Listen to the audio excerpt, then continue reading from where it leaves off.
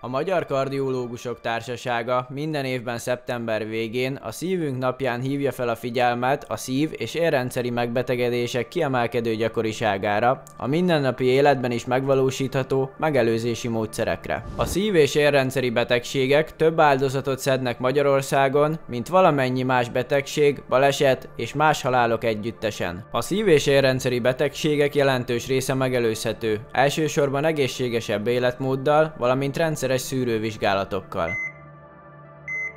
A szívünknek is szüksége van a törődésre és a szeretetre, ezért ugyanúgy, ahogy családtagjainkról, gyermekeinkről és barátainkról gondoskodunk, a szervezetünk motorjának, a szívünknek is jár az odafigyelés és a gondoskodás.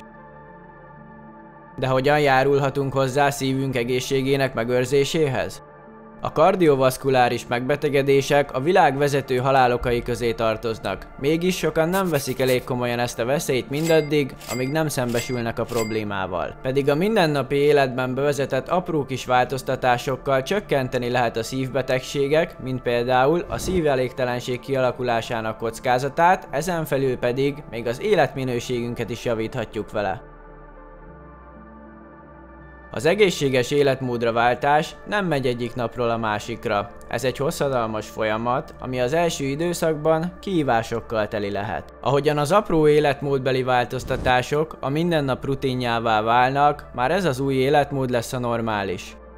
Változtassunk táplálkozási és folyadékfogyasztási szokásainkon. Étkezés során törekedjünk a rostban gazdag táplálkozásra, amennyiben tudjuk, a tésztaféléknél válasszunk teljes kiörlésű gabonaféléket, és a cukrot pedig helyettesítsük más, természetes édesítőkkel. A cukros üdítő italok és gyümölcslevek helyett fogyasszunk inkább vizet vagy egyéb cukormentes italokat.